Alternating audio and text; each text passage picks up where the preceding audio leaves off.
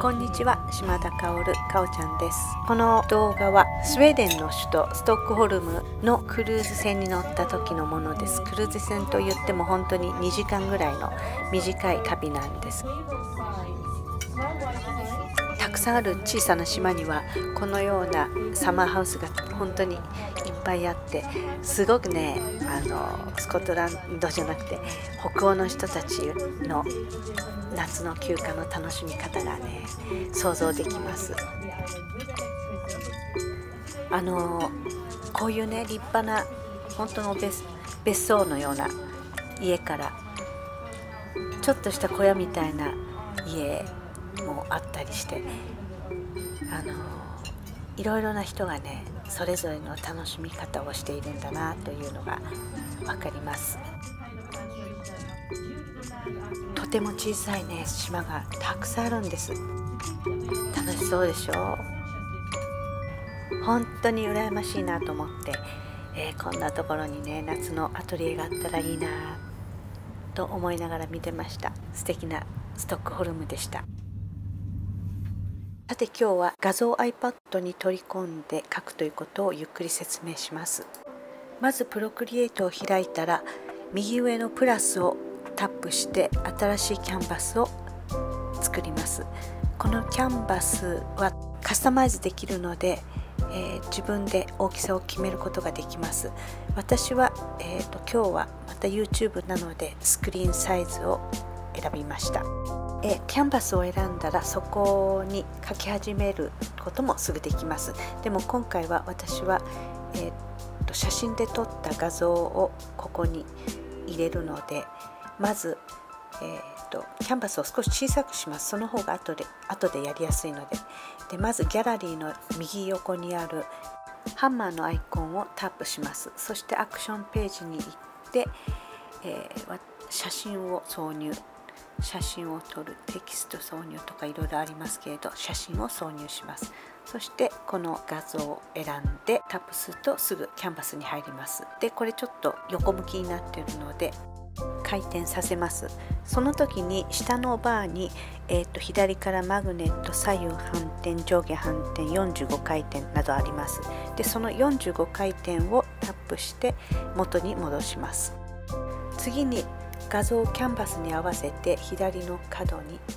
えーと、移動させそして引っ張っていくと大きくなります。この時に均一っていう今均一というところで、えー、っとやっています。フリーフォームディストーションワープなどいろいろあります。これ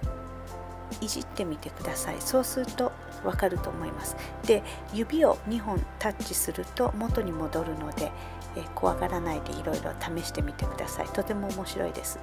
フリーフォームだと本当にあの斜めにもなるし横にも伸びるし縦にも縦にはその青いポイントのところをタッチしながら動かすとあの大きさが変わります。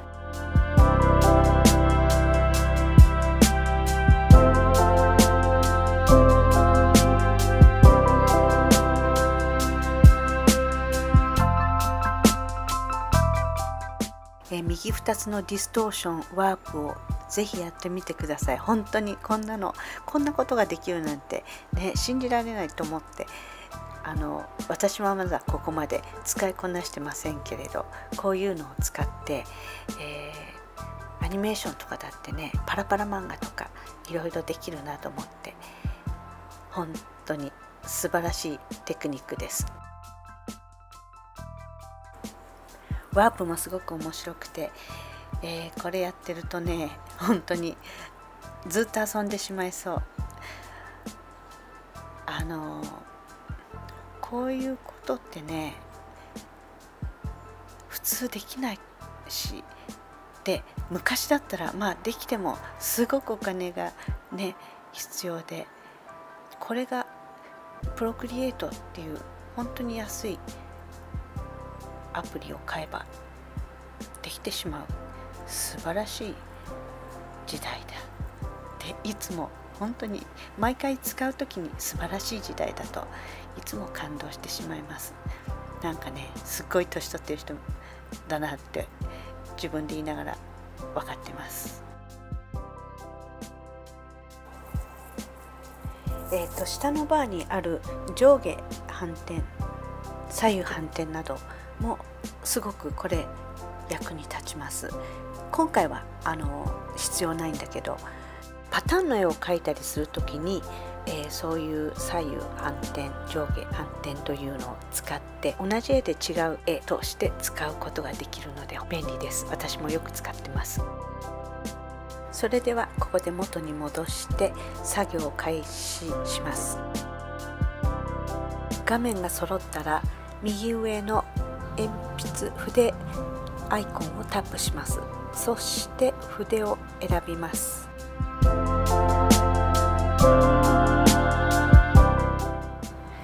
えー、筆の数も本当にたくさんあって、えー、迷ってしまいますけれど今日はあの星のマークを使うので決まっています。是非いろいろな筆を試してみてください。本当にびっくりするように簡単にあの絵が描けてしまいます。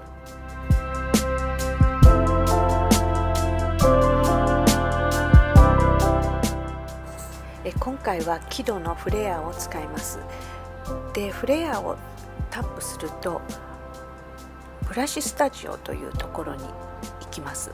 そうするとねここでまたカスタマイズができます。だけど私はここはまだあの本当に使いこなせていません。いろいろ本当にたくさんあるのでえっ、と何が何だか分かりません。だからスタンダードスタンダードなものでやっているんですけれどあのいろいろ試してみたらねきっともっと面白い宝のツールが出てくると思います。是非やってみてください。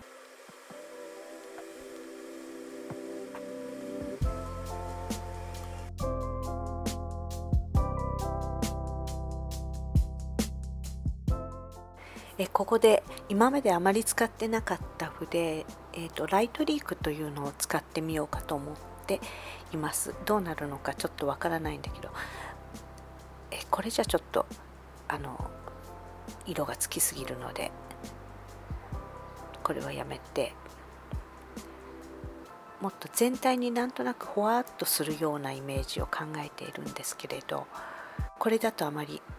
よく見えないので私の中ではイメージがあるんですけれど、うん、それを知らない筆で書けないかなと探しています。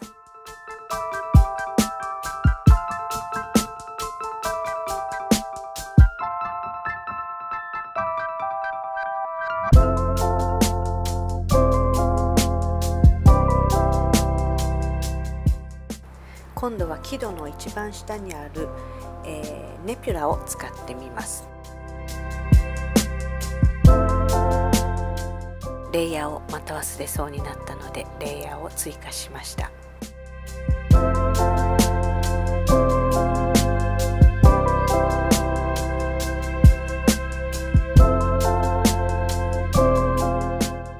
ネピュラでほんのりと色をつけることで、えーやめることにしました。本当に目立たないぐらいなんだけど少し色がついてます。えー、っとそして最後に星の粉をさらっとかけようかなと思ってえー、っといろいろ工夫してるんですけれど何回もやり直しをして、えー、このねやり直しができるっていうのが素晴らしくて普通の紙だったらねこんなことできないのでこれは本当に楽しい遊びです。はいこれで決まったのでこれから書き出しをします。それではギャラリーの右側にあるハンマーのアイコンをタップします。そしてアクションのページに行ったら共有をタップします。で今回えー、っとちょっと間違えました。JPEG です。JPEG をタップして書き出します。そしてこれを、えー、画像を保存を選びます。